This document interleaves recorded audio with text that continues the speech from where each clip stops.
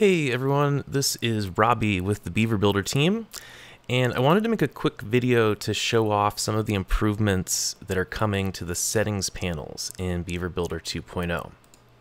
Uh, settings panels are where you're going to spend a lot of your time when you're working on a website. Uh, you can see this is kind of the standard to traditional design. Um, in 2.0, we made settings panels a lot more responsive. So they're a lot more um, efficient in smaller screen sizes. We also made it so if you prefer a larger screen size or a larger panel size when you're working on text, um, your your customizations will persist as you work on different areas of your page, and it'll actually persist um, as you're working throughout your WordPress site.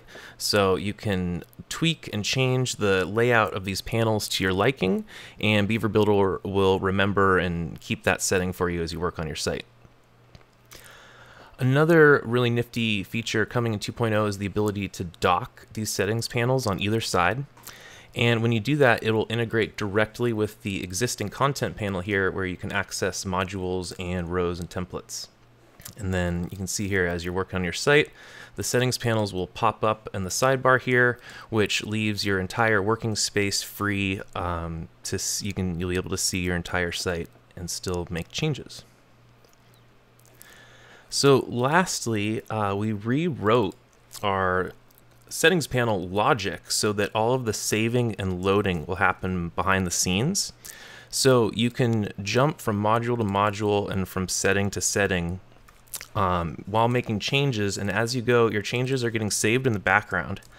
And this is really cool because it, it makes for a, a much faster workflow when you jump into a site you can make a couple of quick changes, um, publish it out, and you're not sitting there waiting for settings panels to load and, and save which with each um, with each change. So the combination of all of these features um, makes for a really really efficient workflow, and we're really really excited to have this available in Beaver Builder 2.0.